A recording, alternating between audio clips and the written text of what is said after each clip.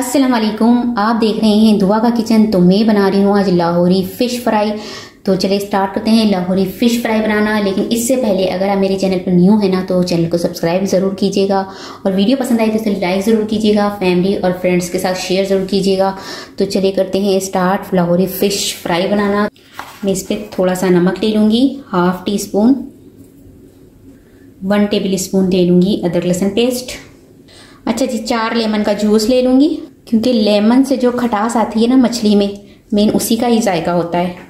जब तक मछली में लेमन की खटास और नमन, नमकीन ना हो ना मछली तो फिर मज़ा नहीं आता खाने में। इसलिए इससे इससे थोड़ी देर पहले ना आप नमक, अदरक, लहसुन पेस्ट और लेमन का जूस लगा कर रखते तो इससे मछली जब आप फ्राई करेंगे ना तो अच्छे से नमकीन होगी अंदर से।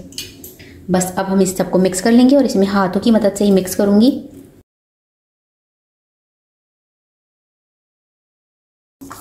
अच्छा मछली को है ना पहले मैंने इसको अजवाइन और नमक से ना पहले अच्छे से धो लिया था, थोड़ी देर रख लिया था अजवाइन और नमक में और फिर उसी से थोड़ी देर बाद उसको मैंने अच्छे से वॉश कर लिया। तो वॉश करने के बाद देखिए कैसी वाइट सी हो गई है। और थोड़ा सा सिरका भी लगा कर रख दिया करें तो इससे ये अच्छी सी खटास भी आ जाती है मछली में। तो ये लगाने के बाद, आधा घंटा लगाने के बाद इसको मैंने वॉश कर लिया था और अब इसकी मेरीनेशन कर रही हूँ मैं। तो अब ये लगा कर अदरक लहसुन पेस्ट लेमन का जूस और नमक लगाकर इसको मैं आधे घंटे के लिए रख दूँगी।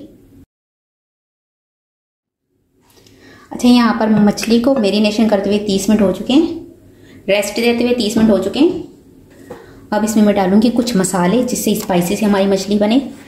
तो इसके लिए मैंने लिया है यहाँ पर हाफ़ टी स्पून लाल मिर्च पाउडर हाफ़ टी स्पून धनिया पाउडर थोड़ा सा हल्दी पाउडर वन टी स्पून कुटी हुई लाल मिर्च वन टी स्पून कुटा हुआ धनिया हाफ़ टी स्पून कुटा हुआ ज़ीरा half teaspoon garam masala powder half teaspoon अजवाइन थोड़ा सा food colour one teaspoon लिए मैंने सूखी मेथी इसे हाथों की मदद से इस तरह से करके पाउडर सा बना के डाल देंगे थोड़ा सा मसलना है हमने पेस्ट को डाल देना इसमें अब इन सबको मैं हाथों की मदद से मिक्स कर लूँगी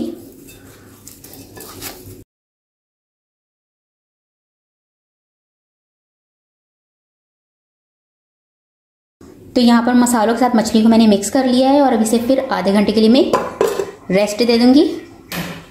अच्छा अब यहाँ पर मुझे तैयार करना है बेसन का घोल, क्योंकि बेसन का घोल मिक्स करने के बाद ही हम मछली को फ्राई करेंगे। तो बेसन का घोल मिक्स करने के लिए यहाँ पर मैंने बेसन लिया है एक कप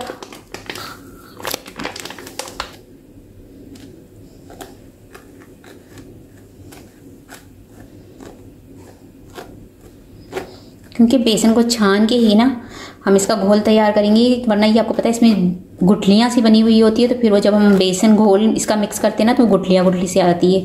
तो बस ये हम इसको पहले छान लेंगे ताकि ये बिल्कुल बारीक सा पाउडर की तरह हो जाए। इसके बाद इसका हम घोल तैयार करेंगे। अब बेसन में मैं डाल दूँगी हाफ़ टी स्पून नमक, हाफ़ टी स्पून लाल मिर्च पाउडर, इसे मिक्स कर लेंगे। अब मैं इसमें थोड़ा थोड़ा पानी डालूँगी और इसका घोल सा तैयार करूँगी। घोल इसका जो है ना बिल्कुल स्मूदी सा तैयार हो ताकि मछली जो है ना वो अच्छे से डिप हो जाए इसमें।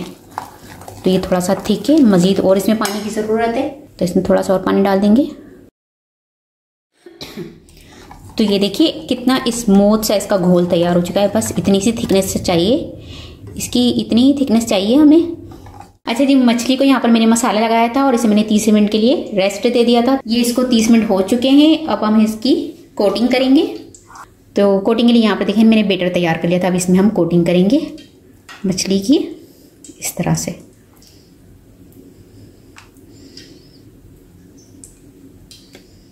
बस यहाँ पर अब हम मछली फ्राई कर लेंगे।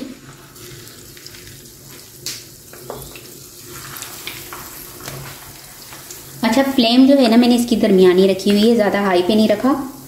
तो इसे मैं पाँच से सात मिनट पकाऊँगी एक साइड और पाँच से सात मिनट पकाऊँगी दूसरी साइड ठीक है? तो बस अब हम इसे पलट देंगे। तो ये देखिए कितना अच्छा कलर आया है मछली का। बस दोनों साइड हमें इसे फ्राई करना है और उसको निकाल लेना। है तो बस ये दूसरी साइड से भी फ्राई हो चुकी है और अब हम इसे निकाल लेंगे। ये देखिए मैं आपको दिखा दूँ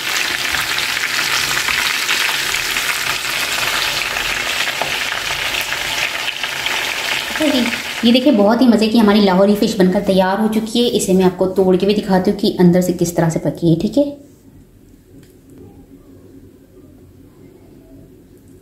ये देखिए। ये देखें कितनी अच्छे से अंदर से पककर तैयार हुई है हमारी फ़िश। बहुत ही मज़े की हमारी लाहौरी फ़िश फ्राई बनकर तैयार हो चुकी है। बहुत क्रिस्पी और मज़े की बनी है। तो उम्मीद है आज की रेसिपी आपको पसंद आई होगी। रेसिपी पसंद आई तो मेरी वीडियो को लाइक कीजिएगा। चैनल को सब्सक्राइब कीजिएगा। मेरा एक और चैनल है, दुआ वीडियो उस पर भी जाइएगा। उसकी वीडियो को विज़िट कीजिएगा। अगर उसकी भी वीडियो पसंद आए तो उसे लाइक कीजिएगा। चैनल को सब्सक्राइब कीजिएगा। आपसे मिलूँगी अगली वीडियो में। जब तक के लिए अल्लाह हाफिज़।